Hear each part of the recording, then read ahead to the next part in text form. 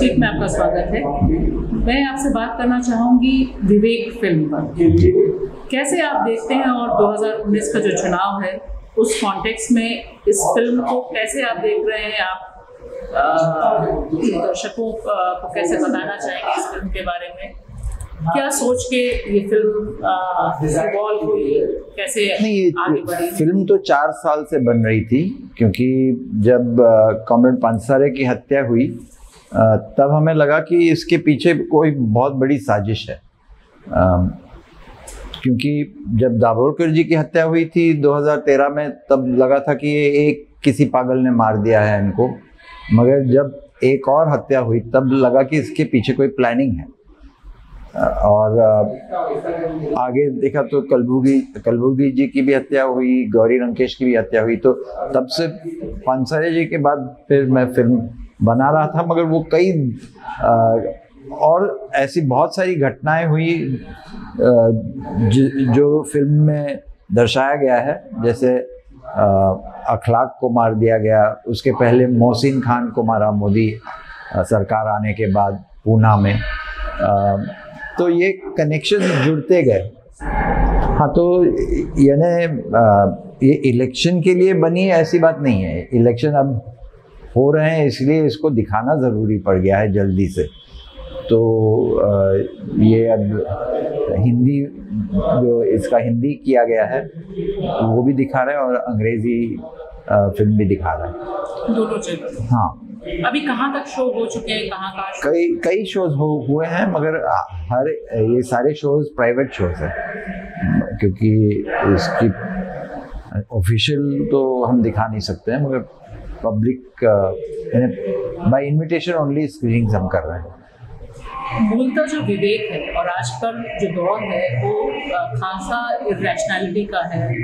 अलग ढंग का सुपरस्टिशन है, जहाँ प्रज्ञा ठाकुर आके बोलती हैं, जो बीजेपी की कैंडिडेट हैं भोपाल से, कि गाय को ऐसे छूए तो मकीन ठीक हो जाता है, या फिर कैंसर ठीक हो गया। तो ये जो इरेशनैलिटी है, उसको आपकी फ़िल्म जो काउंटर कर रही है, वो क्या आपने सोचा था? हाँ तो ये शुरुआत में वो सब्जेक्ट था क्योंकि दाभोलकर जी की हत्या हुई और दाभोलकर यानी अंधविश्वास के खिलाफ लड़ते थे।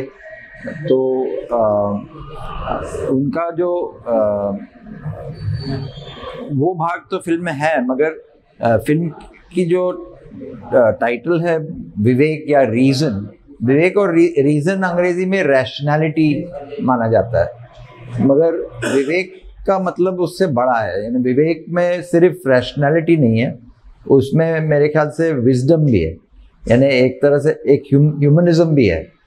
क्योंकि रैशनैलिटी जैसे देखा जाए तो अगर कोई साइंटिस्ट एटम बम बना दिया उसने तो फिर वो रैशनली कहे, कहलाएगा कि वो साइंटिस्ट है। मगर विवेक विवेकी कोई आदमी एटम बम नहीं बनाएगा। तो इसलिए विवेक का टाइटल काफ़ी क्या कहते हैं वाइड स्पेक्ट्रम का है और फ़िल्म भी वाइड स्पेक्ट्रम की है, सिर्फ़ रैशनैलिटी पे नहीं है। अब जो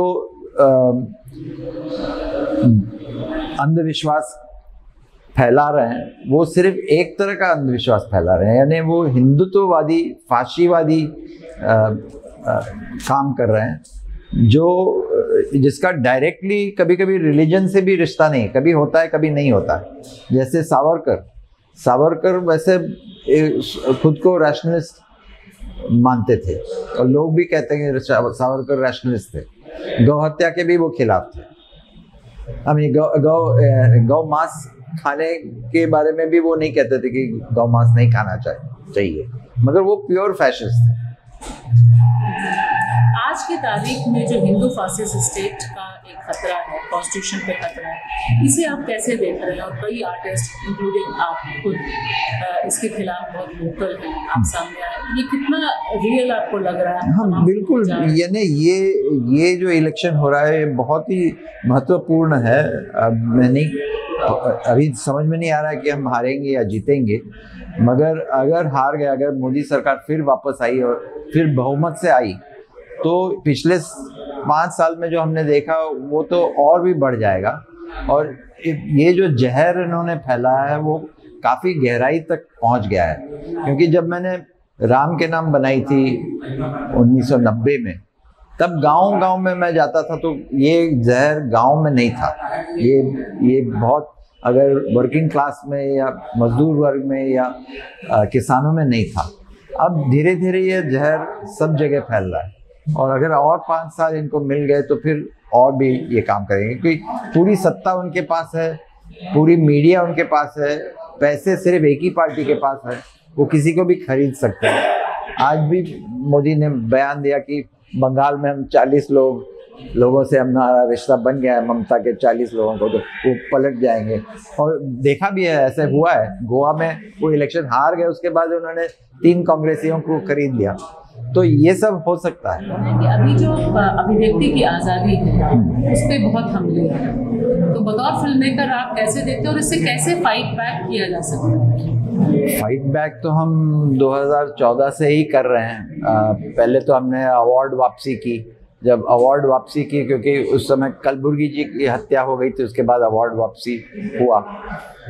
मगर अवार्ड वापसी के बाद उन्होंने हमें देशद्रोही का ठप्पा लगा दिया। पहले कम्युनिस्ट कहते थे, फिर अब देशद्रोही कहने लगे। अब तो इन, अब तो ये हमें बुद्धिजीवी कहते हैं। सबसे बड़ी गाली है कि आप बुद्धिजीवी हो। यानी इनको तो बुद्धि की ज़रूरत ही नहीं है, इनको सिर्फ़ भक्ति चाहिए। तो इस तरह की गाली पड़ती रहती, वो वो तो ठीक है, वो तो हम झेल लेते हैं। यानी बहुत लोगों ने मैंने सीने पे गोलियाँ खाई हैं तो हम, कौन होते हैं कि हम बोलना बंद कर दें आपको लेकिन 2014 से लेकर 2019 तक क्या आपको दृश्य चेंज मतलब दृश्य में क्या तब्दीली लगती है? लोकतंत्र के लिहाज से बतौर कलाकार बतौर आर्टिस्ट क्या चेंजेस आपको लगता है कि इंडियन डेमोक्रेसी में आए नहीं देखिए 2000 1990 में ये धर्म की बात करते थे। हिंदुत्ववादी हिंदुत्व की बात करते थे। बाबरी मस्जिद को गिराना हिंदुओं का मंदिर बनाना, ये सब था। अब वो राष्ट्रवाद की बात करते हैं, जो पहले नहीं करते थे। पहले तो आज़ादी के बाद उन्होंने तो तिरंगा भी नहीं फैलाया।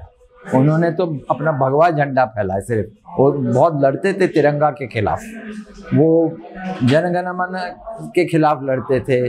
वो मनुस्मृति चाहते थे, अपना संविधान नहीं चाहते थे तो उनका अब उनकी टैक्टिक बदल गई है। अब वो राष्ट्रवादी अपने आप को कहते हैं और दूसरे, दूसरों को देशद्रोही कहते हैं। जबकि मैंने फ़िल्म में भी सवाल उनसे पूछे कि आप में से कौन है आपके परिवार में, हिंदुत्व संघ परिवार में, कौन है जो अंग्रेज़ों के खिलाफ लड़ते हुए जेल में गया? तो एक ही आदमी है उनके पास, वीर सावरकर।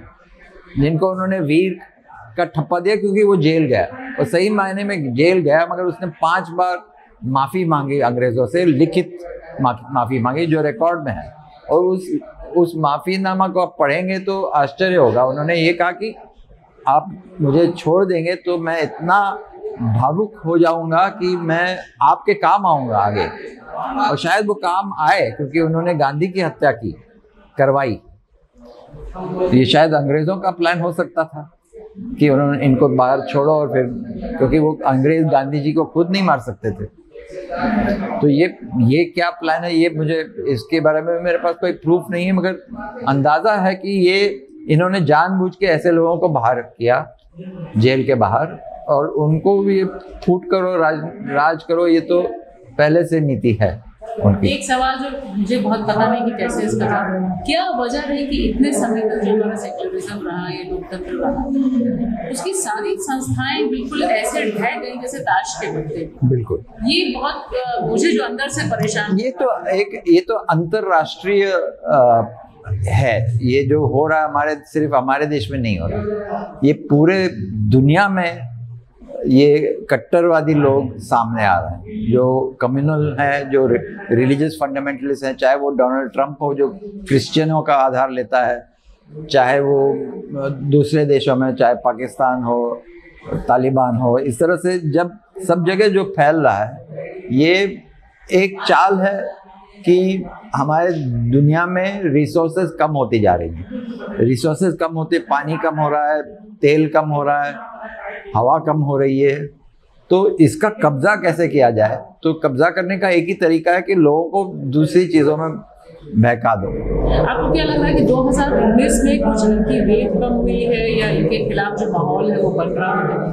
कैसे दो 2019 में आ, इन इन्होंने जिनको सबसे ज़्यादा सताया है इन पाँच सालों में यानी गरीबों को किसानों को दलितों को मुसलमानों को अल्पसंख्यक के लोगों को इन इनके थ्रू ही हम बच सकते हैं।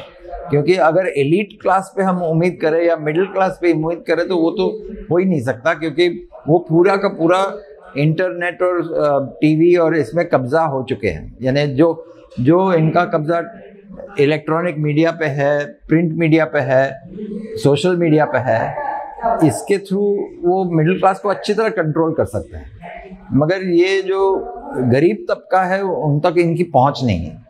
और वो झूठ को समझ जाते हैं कि ये झूठ है, क्योंकि उनके घर में पैसा नहीं आता, उनके घर में अनाज नहीं आता है।